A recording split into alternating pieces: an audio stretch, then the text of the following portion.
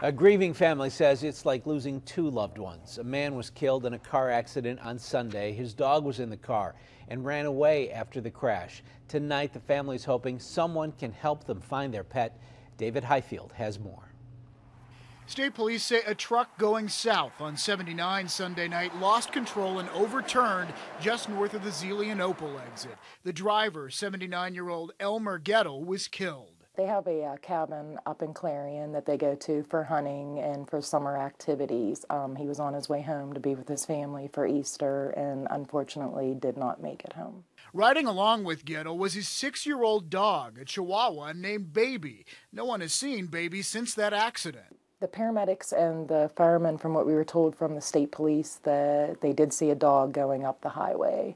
Um, she's probably scared she's not going to come to people. The family's asking everyone in the Zelienople area for help finding the dog. They've contacted animal shelters and rescue groups and passed out flyers with Baby's picture. Baby is a small, short-haired, purebred black chihuahua. She does have some brownish and white marks on her ears and on her paws.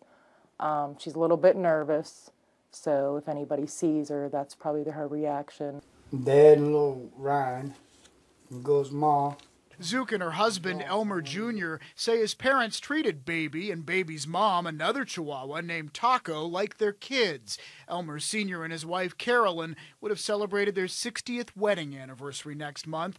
Zuke says bringing back a missing part of the family would help comfort Elmer's widow. It's been very hard. We're still having a difficult time dealing with it. Um, we're hoping that somebody finds the dog because it might bring just a little bit of relief back to the family, even though we're missing our dad. David Highfield, KDKA TV News. If you find baby, the family says do not chase her, but instead call 412 944 4565. You can get that number anytime at kdka.com.